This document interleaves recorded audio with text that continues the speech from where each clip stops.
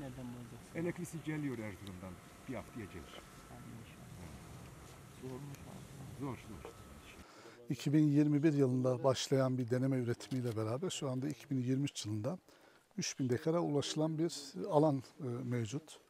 Buradaki işte özel tohumla beraber özellikle e, Türkiye geneline e, sirayet eden, oraya pazarlanabilen çok güzel ayçiçek tarlalarımız oluşmaya başladı. Bu sayede vatandaş hem gelirini artırmıyor hem de özellikle arpa ve buğdaydan sonra nadasa bırakmadan münavebeli ekim suretiyle burada gelirini de artırmaya başladı. Bahsettiğimiz gibi burada sulama barajlarıyla beraber e, sulama oranının artmış olması hem verimi artırdı hem de nadasa bırakmadan toprağın daha kaliteli bir şekilde ekilip dikilmesine de çiftçimize fırsat verdi. O açıdan bizler devlet olarak yine çiftçimizin bu noktadaki gelişime destek olmaya devam edeceğiz.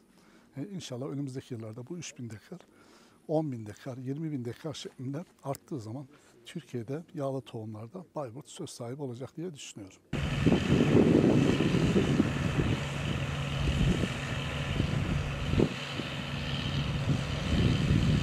Bu ekimler çiftçimizin yüzünü güldürdü. Bayburt'umuzu endüstriyel bitkiler açısından bir tarım merkezi haline getirdi. Getirmeye de devam ediyor. Ee, çiftçimiz memnun, köylümüz memnun. Şehrimize önemli bir ekonomi girdi sağlıyor endüstriyel bitkiler.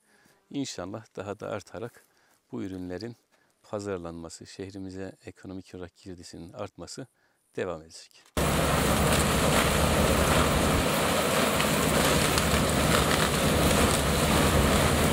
E, ayçiçeğinin de verim olarak e, buğday, arpa olarak düşündüğümüz zaman ayçiçeğinin verimi tabi bize daha yüksek geldi.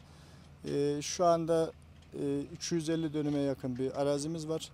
Verimlerimiz yaklaşık ortalama 400 ile 450 kilogram alıyoruz dönümden. E, memnunuz. Bundan e, sonra da e, ilerleyen yıllarda tabi e, dönümleri biraz daha artırmaya hedefliyoruz. E, kazancı güzel.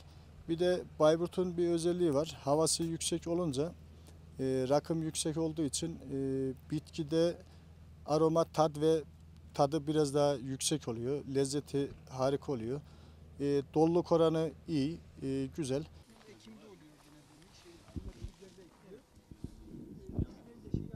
Pazar sıkıntımız yok. E, kaliteli mal olduğu zaman satışta problem yaşamıyoruz. Ya, tabii bizde hedefimiz her zaman kaliteli ürün üretmek.